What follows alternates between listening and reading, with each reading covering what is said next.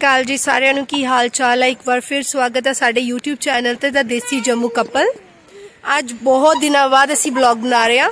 ਅੱਛਾ, ਤੁਸੀਂ ਬੋਲੋਗੇ? ਬੋਲੋ। ਸੱਚੀ ਅੱਜ ਬੱਚੇ ਤੇ ਆ ਤੇ ਅਸੀਂ ਜਾ ਰਹੇ ਸੀਗੇ ਅਪਾਇੰਟਮੈਂਟ ਤੇ। ਸੋਚਿਆ ਚਲੋ ਛੋਟਾ ਜਿਹਾ ਬਲੌਗ ਬਣਾਈਏ, ਤੁਹਾਨੂੰ ਦਿਖਾਈਏ ਅਸੀਂ ਅੱਜ ਦਾ ਦਿਨ ਵਿੱਚ ਕੀ ਕੀ ਕਰ ਰਹੇ ਹਾਂ। ਸਰਦਾਰ ਜੀ ਘਰ ਹੈ ਨਹੀਂ ਔਰ ਬੱਚਿਆਂ ਨੂੰ ਮੈਨੂੰ ਨਾਲ ਲੈ ਕੇ ਜਾਣਾ ਪੈ ਰਿਹਾ। ਤੇ ਹੁਣ ਅਸੀਂ ਕਰ ਰਹੇ ਹਾਂ ਬੱਸ ਦਾ ਵੇਟ ਹੁਣ ਬੱਸ ਆਂਦੀ ਹੈ, ਬੱਸ ਤੇ ਬੈਠ ਕੇ ਤੇ ਫਿਰ ਤੁਹਾਨੂੰ ਦਿਖਾਉਂਦੇ ਆ ਅਸੀਂ ਕਿੱਦਾਂ ਕਿੱਦਾਂ, ਕਿ- ਬੱਸ ਤੇ ਜਾਵਾਂਗੇ। ਦੈਨ ਆਫਿਸ ਜਿਹੜਾ ਮੇਨ ਉਹ ਤੁਹਾਨੂੰ ਦਿਖਾਵਾਂਗੇ, ਕੋਸ਼ਿਸ਼ ਕਰਾਂਗੇ ਹੈਨਾ ਔਰ ਤੁਸੀਂ ਸਾਰੇ ਜਾਣਦੇ ਹੀ ਹੋ ਕਿ ਯੂਕਰੇਨ ਔਰ ਰਸ਼ੀਆ ਦੀ ਜਿਹੜੀ ਲੜਾਈ ਲੱਗੀ ਹੋਈ ਹੈ। ਔਰ ਇਸ ਕਰਕੇ ਯੂਕਰੇਨ ਤੋਂ ਕਾਫੀ ਸਾਰੇ ਮਾਈਗ੍ਰੈਂਟਸ ਇੱਥੇ ਆਏ ਹੋਏ ਨੇ। ਉਹ ਵੀ ਉੱਥੇ ਮੇ ਵੀ ਹੋ ਸਕਦੇ ਨੇ ਕਿਉਂਕਿ ਲਾਸਟ ਟਾਈਮ ਸੀਗੇ ਬਹੁਤ ਸਾਰੇ। ਤੁਹਾਨੂੰ ਉਹ ਵੀ ਦਿਖਾਵਾਂਗੇ। ਦੈਨ ਉਹਦੇ ਬਾਅਦ ਅਸੀਂ ਅਪਾਇੰਟਮੈਂਟ ਦੇ ਬਾਅਦ ਅਸੀਂ ਕਿੱਥੇ ਕਿੱਥੇ ਜਾਵਾਂਗੇ ਦਿਖਾਉਂਦੇ ਆ ਤੁਹਾਨੂੰ। ਚਲੋ ਜੀ, ਫਿਰ ਬੱਸ 'ਚ ਬੈਠਦੇ ਆ ਤੁਹਾਨੂੰ ਅੱਗੇ ਜਾ ਕੇ ਦਿਖਾਉਂਦੇ ਆ ਬਾਏ ਬਾਏ ਹਾਂਜੀ ਬੱਸ ਆ ਗਈ ਆ। ਦੈਨ ਅਗੂ ਟਰਨ ਕਰਕੇ ਆ ਰਹੀ ਹੈ ਬਿਕੋਜ਼ ਦਾ ਲਾਸਟ ਸਟਾਪ ਹੈ ਮੈਂ ਪਹਿਲੇ ਵੀ ਦੱਸਿਆ ਹੋਇਆ। ਹਾਂਜੀ, ਆਹ ਦੇਖ ਸਕਦੇ ਆ ਤੁਸੀਂ। ਬੱਸ ਬਿਲਕੁਲ ਖਾਲੀ ਹੈ ਅੱਗੇ ਤੋਂ ਵੀ, ਔਰ ਆਹ ਦੇਖੋ। ਅਸੀਂ ਇਕੱਲੇ ਹੀ ਦੋ ਤਿੰਨ ਪੈਸੇਂਜਰ ਆ। ਓਏ, ਸਾਡੇ ਇੱਕ ਦੇ ਲੱਗ ਗਈ ਡਿੱਗ ਕੇ। ਆ ਬਹੁਤ ਸੱਟਾ ਖਾਂਦਾ। ਇੱਕ ਸੀਟ ਤੇ ਨਹੀਂ ਬੈੰਦਾ ਟਿਕ ਕੇ। ਦੇਖੋ, ਇਹਦੀ ਸ਼ਕਲ ਹੁਣ ਕਿੱਦਾਂ ਰੋਣ ਵਾਲੀ ਬਣਾਈ ਹੋਈ ਆ। ਦੇਖੋ ਕੀ ਹੋਇਆ ਤੁਹਾਨੂੰ?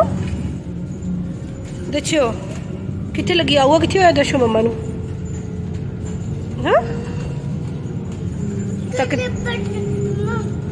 ਕੀੜਾ ਮਰ ਗਿਆ, ਹਾਂਜੀ। ਮੈਂ ਕਹਿੰਦੀ ਆ ਜੈਜ਼ਲਿਨ ਛੋਟੀ ਜੀ ਸੀ ਨਾ, ਮੈਂ ਜੈਜ਼ਲਿਨ ਨੂੰ ਕਹਿੰਦੀ ਹੁੰਦੀ ਸੀਗੀ, ਜਦੋਂ ਡਿੱਗਦੀ ਸੀ ਮੈਂ ਜੈਜ਼ਲਿਨ ਉਹ ਸਾਨੂੰ ਕਹਿੰਦੇ ਸੀ ਨਾ ਬਚਪਨ ਚ ਕੀੜੀ ਦਾ ਆਟਾ ਡੁੱਲ ਗਿਆ। ਮੈਨੂੰ ਕਹਿਣਾ ਜੈਜ਼ਲਿਨ ਕੀੜੀ ਦਾ ਆਟਾ ਡੁੱਲ ਗਿਆ। ਕਹਿੰਦੀ, ਮੰਮਾ, ਕਿੱਥੇ ਕੀੜੀ? ਪਹਿਲੇ ਇਹ ਦੱਸੋ ਤੇ ਕਿੱਥੇ ਆਟਾ ਕਹਿੰਦੀ? ਤਾਂ ਅੱਜ ਤਕਦੀਰ ਕੋਲ ਨੂੰ ਮੈਂ ਕਿਹਾ, ਕੀੜਾ ਮਰ ਗਿਆ। ਕਿੱਥੇ ਦੋ, ਹੈਂਡੂ ਦੋ ਕਿੱਥੇ ਲੱਗੀ ਰੋ ਦੇ ਓਏ। ਜੀ ਗਾਇਸ ਅਸੀਂ ਪੁੱਛ ਚੁੱਕੇ ਹਾਂ ਸਟੇਸ਼ਨ ਤੇ।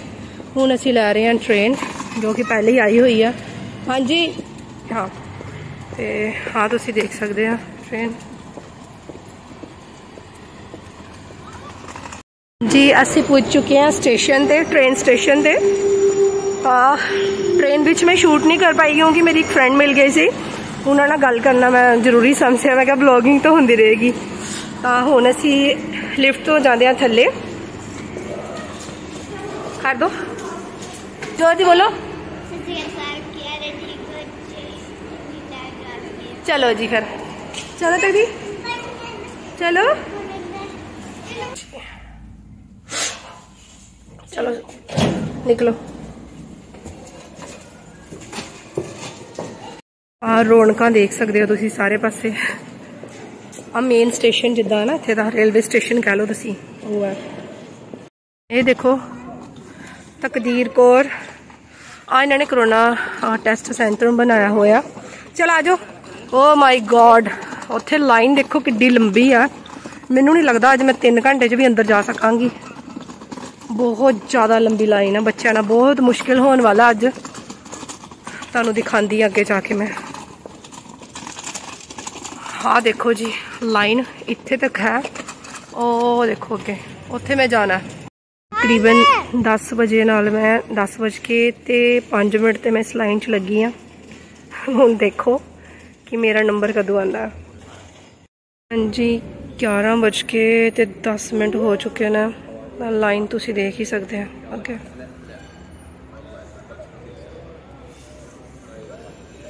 ਪਤਾ ਨਹੀਂ ਹੋਰ ਕਿੰਨਾ ਟਾਈਮ ਲੱਗਣਾ। ਬੱਚੇ ਵੀ ਬੋਰ ਹੋ ਰਹੇ ਨੇ, ਇਧਰ ਦੇਖੋ। ਬੋਲੋ, ਅਸੀਂ ਥੱਕ ਗਏ ਆ।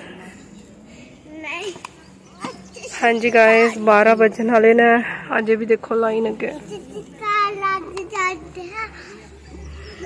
ਬਹੁਤ ਜ਼ਿਆਦਾ ਥੱਕ ਚੁੱਕੇ ਬੱਚੇ ਵੀ ਹੁਣ ਭੁੱਖ ਲੱਗੀ ਬਹੁਤ ਜ਼ਿਆਦਾ।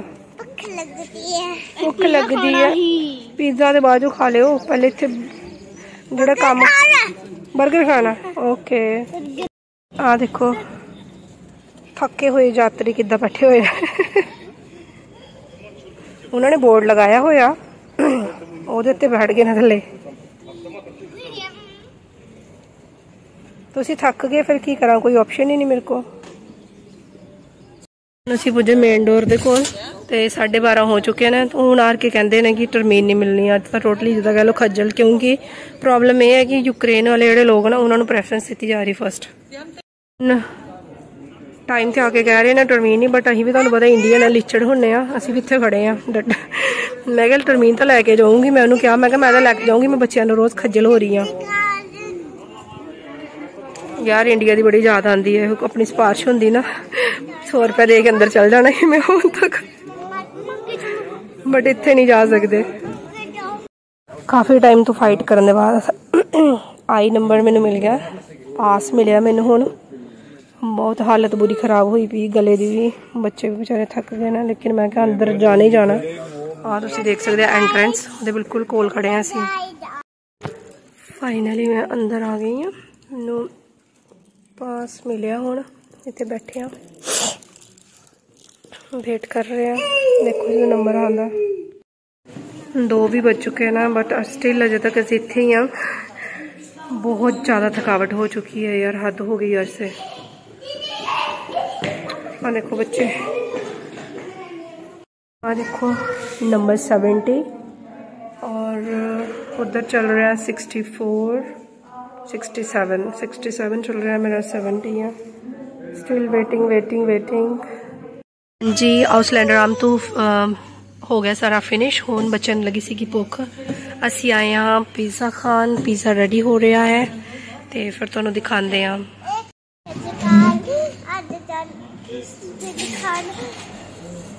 ਅਸੀਂ ਪੀਜ਼ਾ ਖਾਣ ਆਏ ਆ ਨਾ। ਆ ਦੇਖੋ ਸਾਡਾ ਛੋਟਾ ਜਿਹਾ ਨੰਨੂ ਜਿਹਾ ਮਹਿਮਾਨ ਸਾਡਾ ਹੈ ਸੱਚੀ ਤੇ ਤੁਸੀਂ ਹੱਸਦੇ ਬਹੁਤ ਕੀ ਕਰਦੇ ਜੀ ਤੁਸੀਂ? ਆ ਮੇਰਾ ਪੁੱਤ ਸੁਵਾਨ ਸਾਰੇ ਜਣੇ ਕਮੈਂਟ ਕਰਕੇ ਜਰੂਰ ਦੱਸਿਓ ਨਾ ਕਿਦਾਂ ਦਾ ਲੱਗਾ ਤੁਹਾਨੂੰ ਸਾਡਾ ਨਿੱਕਾ ਜਿਹਾ ਪੁੱਤੂ। ਪੀਜ਼ੇ ਆ ਚੁੱਕੇ ਲੇਕਿਨ ਉਹ ਗੱਲ ਲੱਗ ਜੈਸਲੀਨ ਨੇ ਪਹਿਲੇ ਹੀ ਚੱਕ ਲਿਆ। ਇੱਕ ਸਲਾਈਸ ਤਾਂ ਤੁਸੀਂ ਬੋਲੋ ਕੀ ਬੋਲਣਾ ਚਾਹੁੰਦੇ ਹੋ? ਬਸ ਇਹ ਬੰਦਾ ਨਾ ਇਹ ਬੰਦਾ ਪਰਫੈਕਟ ਯੂਟਿਊਬਰ ਆ ਦੇਖੋ ਪੀਜ਼ਾ ਚਲੋ ਜੀ ਅਸੀਂ ਕਰੀਏ ਇੰਜੋਏ ਕਿਉਂਕਿ ਭੁੱਖ ਲੱਗੀ ਹੋਈ ਹੈ ਬਹੁਤ ਹੁਣ ਤੁਹਾਨੂੰ ਇੱਥੇ ਹੀ ਬਾਏ ਬਾਏ ਕਹਾਂਗੇ ਬਾਹਰ ਨਿਕਲ ਕੇ ਦੀ ਤੁਸੀਂ ਪੀਜ਼ਾ ਖਾ ਲਿਆ ਕਿੱਦਾਂ ਸੀ ਕਿੱਦਾਂ ਸੀ ਪੀਜ਼ਾ ਯੰਮੀ ਓਕੇ ਜਸ ਕਿੱਦਾਂ ਦਾ ਲੱਗਾ ਬੇਟੇ ਵਧੀਆ ਸੀਗਾ ਚਲੋ ਠੀਕ ਹੈ ਗਾਇਸ ਫਿਰ ਅੱਜ ਲਈ ਇੰਨਾ ਕੁ ਨੈਕਸਟ ਵੀਡੀਓ ਲੈ ਕੇ ਜਲਦੀ ਆਵਾਂਗੇ ਹੁਣ ਬਹੁਤ ਜ਼ਿਆਦਾ ਥੱਕ ਚੁੱਕੇ ਆ। ਦੇਖੋ ਬੱਚੇ ਕਿਨੇ ਮਸਤੀ ਕਰ ਰਹੇ ਨੇ।